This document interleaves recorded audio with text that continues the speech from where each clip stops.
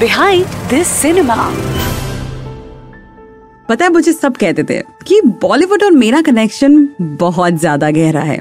और मैं इस बात को बिल्कुल सीरियसली लेती हूँ। क्योंकि बॉलीवुड की फ़िल्में मुझे जितनी ज़्यादा पसंद है ना, उतनी ही फ़िल्मों के पीछे की कहानियाँ। Hi this is Simi and welcome to the brand new series of my new podcast which is behind the cinema और आज हम बात करने वाले हैं हमारे आज के पहले एपिसोड में आमिर खान की फ़िल्म पीके के बारे में।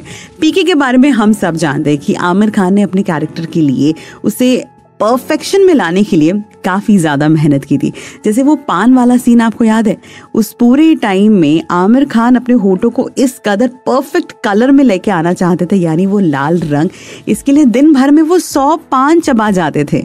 है ना? काफ़ी इंटरेस्टिंग एंड पोस्टर को लेके, जब ये फ़िल्म का पोस्टर लॉन्च हुआ था, उस वक्त सबके मन में पोस्टर को लेके कई सारे सवाल थे। Aamir went full monty for the poster of the film and but Many know that this particular poster was shot during PK shooting. हाँ फ़िल्म पीके की जब अनाउंस हुई थी, तभी इस पोस्टर को शूट नहीं किया गया था। इस पोस्टर की शूटिंग हुई थी धूम थ्री के टाइम पे।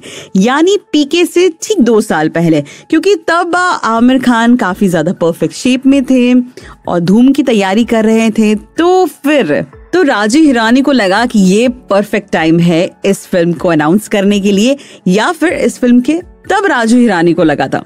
ये परफेक्ट टाइम है फ़िल्म के पोस्टर को शूट करने के लिए। इसके साथ ही आमिर खान भोजपुरी लैंग्वेज को लेकर काफ़ी ज़्यादा कंसिडरेबल थे कि अगर मैं भोजपुरी इस फ़िल्म में बोल रहा हूँ तो एक्सेंट बिल्कुल सही मात्रा में पहुँचने चाहिए। और इसीलिए आमिर खान एक बहुत ही शानदार भोजपुरी टीवी एक्ट्रेस शांति भूषण के पास ट्रेनिंग के लिए गए, जो शूटिंग के दौरान भी इनका साथ दे रही थी। फ़िल्म ने बॉक्स ऑफ़िस पर कितना कमाल किया, ये सब तो हम जानते ही हैं। Seven point six double nine million लेकिन इसके अलावा राजू हिरानी, वैसे तो डायरेक्टर काफ़ी अच्छे हैं बट काफ़ी लोगों को नहीं पता फ़िल्म में एक गाना था, जिसके हुक स्टेप के लिए हर कोई कोशिश कर रहा था कि इसका हुक स्टेप आखिर होना क्या चाहिए।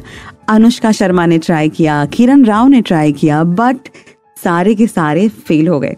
क्योंकि उन्हें लगा कि नहीं यार, वो वाइब नहीं मैच हो पा रही है। वो मज़ा नहीं आ रहा है इस हुक स्टेप से। फिर हिरानी साहब ने कहा, चलो मैं बताता हूँ। और उसके बाद उन्होंने वो शूट तो किया और उस गाने का हुक स्टेप भी दिया और कोरियोग्राफर को कहा, तुम्हारा काम मैंने कर लिया है। चलो अब जाके तुम सारी की सारी मूवी बनाओ। काफ़ी इंटरेस्टिंग सुनने में आया था कि इस फ़िल्म का सीक्वल आ सकता है बट पर्सनली मुझे नहीं लगता कि सीक्वल की आवश्यकता है. बट यू नेवर नो क्योंकि फ़िल्म के एंड में रणबीर का स्पेशल अपीयरेंस अभी भी अधूरा है, यानी उसके साथ कोई तो कनेक्शन पीके का जुड़ सकता है। अगले हफ़्ते फिर मिलेंगे एक और कहानी के साथ। डू लेट मी नो कि आप कौन सी फ़िल्म के बिहाइंड द सीन की कहानी जानना चाहते हो। रेडियो ऑलिव के इंस्टा हैंडल्स पे आ सकते हो। This is me Simi signing off from behind the cinema behind this cinema